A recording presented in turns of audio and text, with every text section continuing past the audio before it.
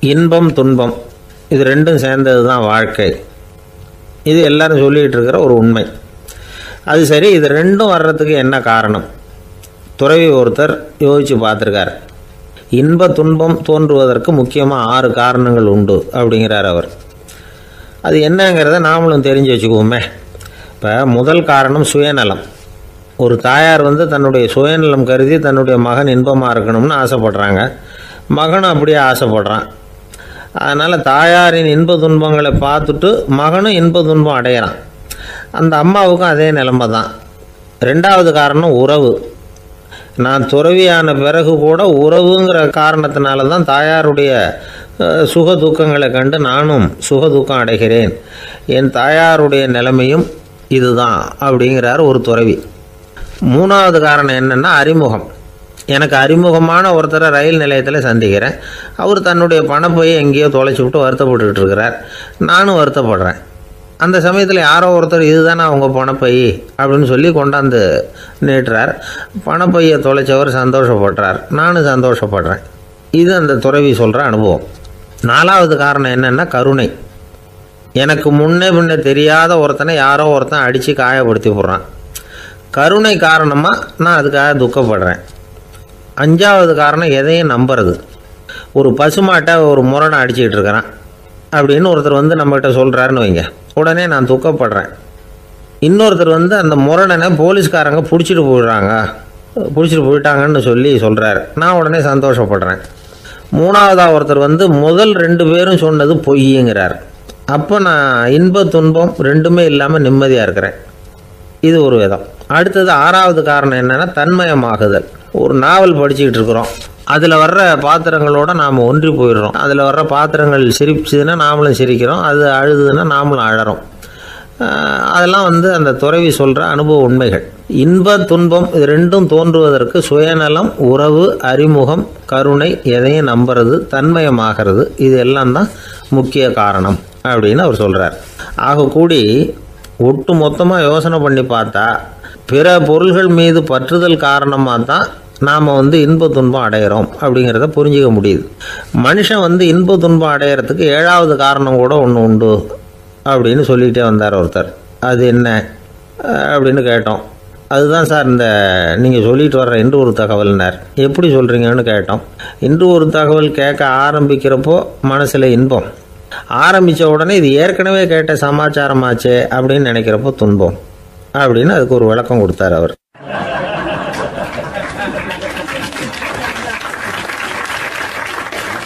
ஆரம்ப காலத்தில் ஒரு குரு. அப்போ ஒரு சீடன் இருந்தான் அது வேடிக்கையான குரு வேடிக்கையான சீடன். ஒரு ஆசிரமம். ஒரு நாள் ஒருத்தன் அவசரமாக அந்த குருவை தேடி வந்திருக்கிறான். என்ன விஷயம்னு விசாரித்தார் குரு. உங்கள் சீடர் என்னை வந்து அடிச்சுட்டார் அப்படின்னு புகார் பண்ணானா அந்த ஆள். குரு சீடனை கூப்பிட்டார். அடிச்சியா இந்த ஆளை? அப்படின்னு கேட்டாராம். ஆமான் இருக்கான் சீடன். ஏன் அடிச்சே? அப்படின்னு கேட்டாராம். இந்த ஆள் உங்களை பற்றி மட்டமாக பேசிவிட்டான். என்னால் அதை தாங்கிக்க முடியல. அதனால தான் அடிச்சுட்டேன்ருக்கான் அப்படி என்ன பேசினா அப்படின்னு கேட்டாராம். உன்னுடைய குருநாதர் இப்போல்லாம் அர்த்தமில்லாமல் பேச ஆரம்பிச்சிட்டார் அப்படின்னு சொல்லிவிட்டான். அதனால தான் அடிச்சுட்டேன் அப்படின்னு நானாம் அதுக்காக அடித்தே அப்படின்னாரான் நான் அதுக்காக அடிக்கலை குருவே. இப்பெல்லாம் நீங்கள் அர்த்தம் இல்லாமல் பேசுகிறதாக அவன் சொல்கிறான் அப்படின்னா இதுவரைக்கும் நீங்கள் அர்த்தத்தோடு பேசினதாகத்தானே அர்த்தம்.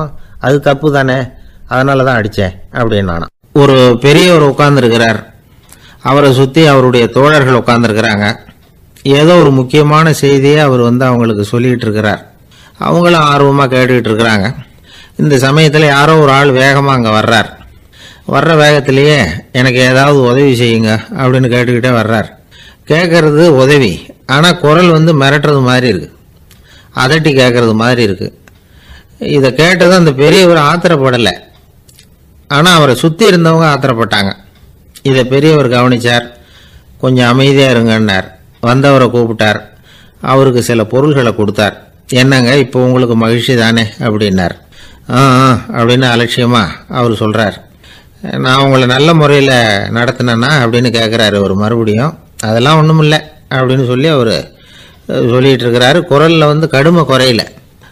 சுற்றி இருந்தவங்களால இதை பொறுத்துக்க முடியல. கோபத்தோடு அவரை நோக்கி நெருங்க ஆரம்பித்தாங்க பெரியவர் அவங்களையெல்லாம் தடுத்து நிறுத்தினார். வந்தவரை வாங்க என்னோட அப்படின்னு சொல்லி அழைச்சிட்டு போனார் வீட்டுக்கு போனார். அங்கே போனதும் இன்னும் சில பொருள்களை எடுத்து அவர்கிட்ட கொடுத்தார். இப்போ திருப்தி தானே? நான் உங்ககிட்ட நல்ல முறையில் நடந்துக்கிட்டேனா அப்படின்னார். அவர் முகம் இப்போ தான் கொஞ்சம் மலர்ந்தது.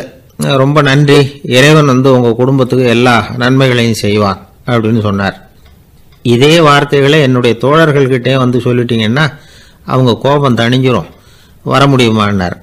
கண்டிப்பாக வர்றேன் அப்படின்னாரு. மறுநாள் காலையில் அந்த இடத்துக்கு வந்தார். அதே மாதிரி சொல்லிவிட்டு அவர் போயிட்டார். தோழர்கள்லாம் ரொம்ப வியப்போடு பெரியவரை பார்த்தாங்க. அந்த பெரியவர் தான் நபிகள் நாயகம். அவர் சொன்னார் ஒருத்தன் ரொம்ப ஆசையாக ஒரு ஒட்டகத்தை வளர்த்துக்கிட்டு வந்தான். ஒரு நாள் அந்த ஒட்டகம் வந்து கயத்தை அறுத்துக்கிட்டு ஓடி போயிட்டுது. அக்கம் பக்கத்தில் இருக்கிறவங்கெல்லாம் அந்த ஒட்டகத்தை பிடிக்கிறதுக்கு முயற்சி பண்ணாங்க. அதை துரத்திக்கிட்டு ஓடினாங்க. ஒட்டகம் வந்து தாறுமாறாக ஓட ஆரம்பிச்சுது. இந்த சமயத்தில் ஒட்டகத்தை வளர்த்தவன் அங்கே ஓடி வந்தான். நீங்கள் அதை ஒன்றும் செய்ய வேணாம் விட்டுருங்க. அதோட சுபாவம் எனக்கு நல்லா தெரியும். அதை சுலபமாக என்னோடய வழிக்கு கொண்டுட்டு வந்துட முடியும். நான் பார்த்துக்கிறேன் விட்டுருங்க அப்படின்னா. எல்லாரும் விலைக்கு போயிட்டாங்க. இவன் என்ன செஞ்சான் தெரியுமா? கொஞ்சம் புல்லை கையில் எடுத்துக்கிட்டு அந்த ஒட்டகத்தை நெருங்கினான் அவ்வளவுதான். அது ஓடி வந்து இவன் காலடியில் உட்காந்துக்கிட்டது செல்லமாக அதை அப்படியே தடவி கொடுத்தான் முதுகில் ஏறி உட்காந்துக்கிட்டான் அது பாட்டுக்கு சாதுவாக நடந்து போகுது. இந்த கதையை நபிகள் நாயகம் தம்முடைய தோழர்களுக்கு சொல்கிறார் ஒட்டகத்தை மட்டும் இல்லை சில மனிதர்களையும் கூட சில விதத்தில் அணுகி தான் அவர்களை வந்து சீர்திருத்த வேண்டியிருக்குது அப்படிங்கிறத அவங்களுக்கு உணர்த்தினார். இது ஒரு அழகான உளவியல் அணுகுமுறை. சில குடும்ப தலைவர்கள் கூட இந்த ஒட்டகம் மாதிரி நடந்துக்கிறது உண்டு. அப்புறம் அடங்கி போகிறதும் உண்டு. ஒரு குடும்ப தலைவர் காலையில் எழுந்திரிச்சதுலேருந்து சத்தம் போட்டு கத்திக்கிட்டு இருப்பார். பக்கத்தில் இருந்தவங்கலாம் ஓடி போய் சமாதானம் பண்ணி பார்த்தாங்க. அவர் ஓயறது மாதிரி தெரியல. கடைசியில் அவர் மனைவி வந்தாங்க. நீங்கள் எல்லாம் விலைக்கு போயிடுங்க. அவர் சுபாவம் எனக்கு தெரியும். நான் பார்த்துக்கிறேன் அப்படின்னாங்க. சரின்னு எல்லோரும் போயிட்டாங்க. சாயந்தரமாக வந்து பார்க்குறாங்க அவர் சத்தம் இல்லாமல் ஒரு மூலையில் உட்காந்துருக்கிறார் ரொம்ப சாதுவா. ஆச்சரியமாக இருந்தது. என்னம்மா பண்ணீங்கன்னு கேட்டாங்க. அது ஒன்றும் இல்லைங்க ஒரு வேளை சாப்பாட்டை நிறுத்தினேன். பட்னி போட்டேன் அவ்வளவுதான் அப்படின்னாங்க அந்த அம்மா.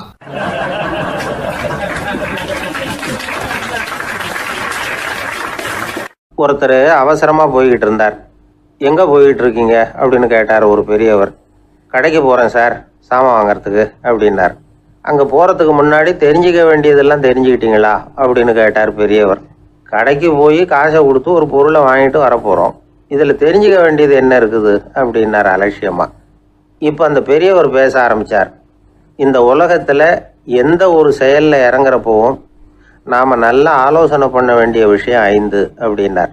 உதாரணமாக ஒருத்தன் கடைக்கு போய் ஏதோ ஒரு பொருளை வாங்கிட்டு வர போகிறான்னு வச்சுக்கோங்களேன்.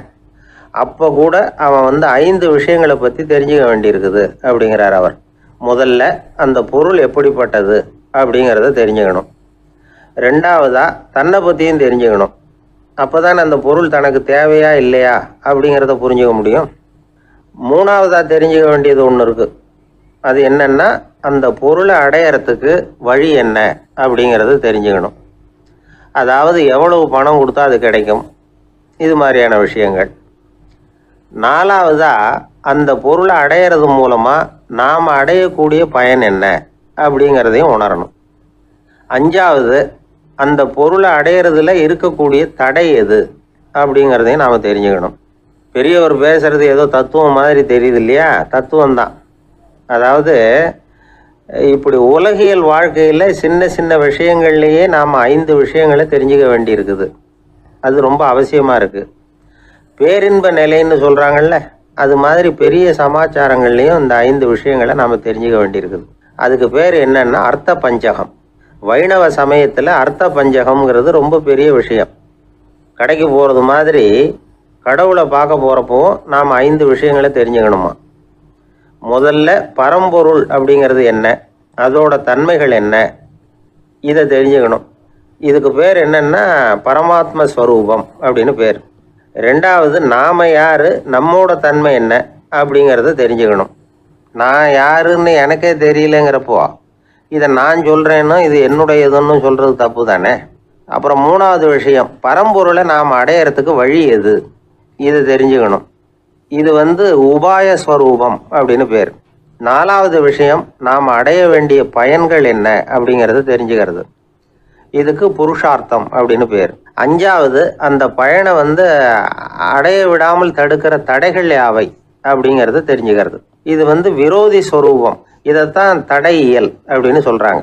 அதாவது பரமாத்மாவை பற்றிய அறிவு ஜீவாத்மாவை பற்றிய அறிவு உபாயம் பற்றிய அறிவு புருஷார்த்தம் பற்றிய அறிவு இந்த நாலு அறிவுக்கும் எதிரடையா அதாவது அதையெல்லாம் தப்பாக புரிஞ்சுக்கிறதால உண்டாகக்கூடிய அறிவு விரோதி சொரூபம். என்ன இது தகவலில் ஏதாவது கதை சொல்லுவீங்கன்னு பார்த்தா ஏதோ தத்துவம் பேசிகிட்டு இருக்கிறீங்களே அப்படின்னு நினைக்கலாம். இதுவும் தெரிஞ்சுக்க வேண்டிய ஒரு பெரிய விஷயந்தான் காதில் போட்டு வச்சா எப்போவாவது உபயோகப்படும். என்னுடைய நண்பர் ஒருத்தர் ஒரு நாள் என்கிட்ட சொன்னார் சார் அடுத்த மாதம் தஞ்சாவூரில் ஒரு கல்யாணம். போகிறதா வேண்டாமா? அப்படின்னு ஒரே குழப்பமா இருக்குது அப்படின்னார். நான் உடனே இந்த அர்த்த பஞ்சக உபதேசம் பண்ண ஆரம்பித்தேன் அவர் எல்லாத்தையும் பொறுமையாக கேட்டுவிட்டு சரி சார் நான் போகிறதுன்னு முடிவு பண்ணிவிட்டேன்னார். எப்படி இந்த முடிவுக்கு வந்தீங்க? அப்படின்னு கேட்டேன். அவர் சொன்னார் சார் அந்த ரெண்டாவது பாயிண்ட் ஒன்று சொன்னீங்களே அதை புரிஞ்சுக்கிட்டதுக்கு அப்புறம்தான் இந்த முடிவுக்கு வந்தேன் அப்படின்னார். என்ன ரெண்டாவது பாயிண்ட்டுன்னு அதாவது தன்னை பற்றி புரிஞ்சுக்கணும் அப்படின்னு சொன்னீங்க.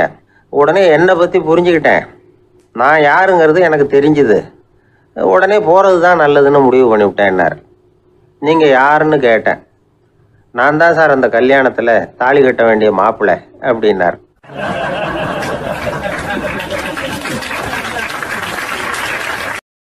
என்ன சார் உங்கள் பையன் என்ன செஞ்சுக்கிட்டு இருக்கிறான் இப்போ அப்படின்னு கேட்டார் ஒருத்தர்.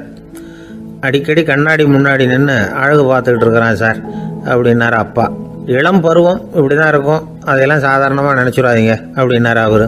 என்ன சார் சொல்கிறீங்க கண்ணாடி முன்னாடி நின்றுக்கிட்டு நேரத்தை வீணாக்கிக்கிட்டு இருக்கான். அதை ஒரு பெரிய விஷயமா நான் நினைக்கணுமா? அப்படின்னாரு இவர். இளம் பருவத்தில் இளைஞர்களுக்கும் சின்ன பொண்ணுங்களுக்கும் அடிக்கடி கண்ணாடியில் பார்க்கணும்னு தோணும். அது வெறுமனை அழகு பார்க்கறது மட்டும் இல்லை அவங்க தங்களையே தேடி கண்டுபிடிக்கிற ஒரு முயற்சி அது. இது ஒரு மனோதத்துவ விளைவு. இது வரைக்கும் வந்து சின்ன பிள்ளையா இருந்துட்டோம். இனிமேல் நாமளும் மற்றவங்க மாதிரி மனிதர்கள் தான். அப்படிங்கிற உணர்வு அவங்களுக்கு வருது. தங்களோட முகம் எப்படி இருக்குது அழகு எப்படி இருக்கு உடம்பு நேரம் எப்படி இருக்கு முடி எப்படி இருக்கு அப்படிங்கறதையெல்லாம் கண்டுபிடிக்கிறாங்க. அதுக்கப்புறம் இன்னொரு ஆணோ பொண்ணோ தன்னை கவனிக்கணும் அப்படின்னு நினைக்கிறாங்க. இதெல்லாம் மனோதத்துவ உண்மைகள். இதெல்லாம் இயற்கை. இதை பார்த்துட்டு பெற்றவங்க வந்து பிள்ளைங்க கெட்டு போட்டாங்க அப்படின்னு நினைக்கக்கூடாது. அவங்கள திட்டிக்கிட்டே இருக்கக்கூடாது. இன்னைக்கு பல குடும்பங்களில் இதுதான் நடந்துகிட்டு இருக்குது. மனுஷ வாழ்க்கையிலேயே இப்படியும் இல்லாத அப்படியும் இல்லாத ஒரு பருவம் வந்து இளம் பருவம். பதிமூணுலேருந்து பத்தொம்போது வயசுக்கு உட்பட்ட ஆண்கள் பெண்கள் இந்த வகையை சேர்ந்தவங்க. டீனேஜ் குரூப் இவங்கள சின்னவங்கன்னு நினச்சிட முடியாது பெரியவங்கன்னு நினச்சிட முடியாது. இவங்க ரொம்ப சென்சிட்டிவ் சமூகம் நினச்சா இவங்கள வந்து நல்லவங்களாகவும் ஆக்கலாம் கெட்டவங்களாகவும் ஆக்கலாம். கொஞ்சம் அக்கறை எடுத்துக்கிட்டால் பெரிய பெரிய மேதைகளையும் விஞ்ஞானிகளையும் உருவாக்கலாம். ஆனால் நடக்கிறது என்ன தெரியுமா? அநேகமாக இவங்களை யாருமே சரியாக புரிஞ்சுக்கிறது இல்லை இவங்களை சரியாக நடத்துறதும் இல்லை. இது வரைக்கும் நாம் சொல்கிறத கேட்டுக்கிட்டு இருந்தான் இப்போல்லாம் அவன் இஷ்டத்துக்கு நடக்க ஆரம்பிச்சிட்டான் அப்படின்னு வருத்தப்படுற பெற்றோர்கள் அதிகம். இது வருத்தப்படுற விஷயம் இல்லை. சந்தோஷப்பட வேண்டிய விஷயம். உங்கள் புள்ள வந்து சொந்தமாக யோசிக்க ஆரம்பிக்கிறதும் நடந்துக்க ஆரம்பிக்கிறதும் ஒரு தப்பான விஷயமா? அவன் கடைசி வரைக்கும் உங்கள் பேச்சையே கேட்டுக்கிட்டு இருக்கணுங்கிறது என்ன நியாயம்? இன்னைக்கு இளைஞர்களை வந்து பெரியவங்க தப்பாக புரிஞ்சுக்கிட்டு தவறாக நடத்துறதுனால தான் அவங்களுக்கு வெறுப்பு எரிச்சல் மனக்கசப்பு எல்லாம் உண்டாகுது. பெற்றவங்க சரியாக மதிக்கிறது இல்லை அப்படிங்கிற ஒரே காரணத்தினாலேயே வீணாக போகிற பிள்ளைங்க இன்றைக்கி அதிகம். சரி பெற்றவங்களுக்கு இன்னைக்கு என்னதான் புத்தி சொல்ல வர்றீங்க அப்படின்னு கேட்குறீங்களா நாம் எதையும் சொல்ல வரல. ஆனால் அது சம்பந்தமான சில நிபுணர்கள் சொல்லியிருக்கிறத உங்கள் காதில் போட்டு வைக்கலாம். அது என்னென்னா பிள்ளைங்க கிட்ட அன்பு செலுத்துங்க.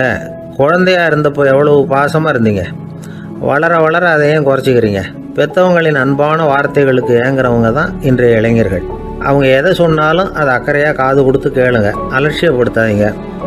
அவங்க விரும்புறது உங்ககிட்ட இருந்து ஒரு மதிப்பு மரியாதை அங்கீகாரம். இவ்வளவுதான். அவங்க அவங்களாவே முடிவுகள் எடுக்கட்டும். அதுக்கு நீங்கள் உதவியா இருங்க அது போதும். மற்றவங்க முன்னாடி முக்கியமாக அவங்க நண்பர்கள் முன்னாடி அவங்கள பற்றி மட்டமாக பேசாதீங்க. அவங்க கிட்ட பொய் சொல்லக்கூடாது. நீங்கள் சொன்னது பொய்ன்னு தெரிஞ்சு போச்சுன்னா உங்கள் பேரில் அவங்களுக்கு இருக்கிற மதிப்பு போயிடும் நம்பிக்கை போயிடும். அவங்களுக்கு முன்னாடி நீங்கள் சண்டை போடக்கூடாது. உங்கள் பிள்ளைய எப்பவும் இன்னொரு பிள்ளையோட ஒப்பிட்டு பேசுகிற வேலையே வேணாம். கூட பிறந்த மற்றவங்களோட கூட ஒப்பிடக்கூடாது. இப்படி செஞ்சா அவன் உங்ககிட்டயும் பிரியமா இருக்க மாட்டான் அவங்ககிட்டயும் பிரியமா இருக்க மாட்டான். புள்ள எங்க போறான் என்ன பண்றான் அப்படின்னுலாம் வந்து துப்பறிஞ்சிட்டு இருக்கக்கூடாது இளைஞர்கள் வந்து தனிமையை விரும்புறவங்க. அவங்கள வந்து பெட்டியில வச்சு மூடி பாதுகாக்கணும்னு நினைக்கக்கூடாது அவங்கள எப்படி பாதுகாக்கிறது அப்படிங்கிறது அவங்களுக்கே தெரியும். உங்க புள்ள எப்படி நடந்துக்கணும்னு நீங்க எதிர்பார்க்குறீங்களோ அது மாதிரி நீங்க நடந்து காட்டுங்க. அது போதும். ஒரு வீட்டில் அப்பாவும் அம்மாவும் பேசிக்கிட்டு இருக்கிறாங்க. என்னங்க நம்ம பொண்ணு பெரியவளாயிட்டா அடிக்கடி கண்ணாடி முன்னாடி போய் நின்றுக்கிட்டு இருக்கிறா சீக்கிரமாக ஒரு பையனை பார்த்து கல்யாணத்தை முடிக்காமல் இப்படி மச மசன்னு கல் மாதிரி உட்காந்துருக்குறீங்களே அப்படின்னு சத்தம் போட்டாங்க அந்த அம்மா. அவசரப்படாத பார்க்கறதுக்கு கண்ணுக்கு அழகாக லட்சணமாக புத்திசாலியாக ஒரு பையன் கிடைக்க வேணாமா? அதுதான் பார்த்துக்கிட்டு இருக்கிறேன் அப்படின்னார் அப்பா. இதுக்கு அந்த அம்மா சொல்கிறாங்க எங்கள் அப்பா இப்படியெல்லாம் நினச்சிக்கிட்டு இருந்திருந்தா எனக்கு கல்யாணமே ஆயிருக்காது தெரியுமா? அப்படின்னாங்களாம்.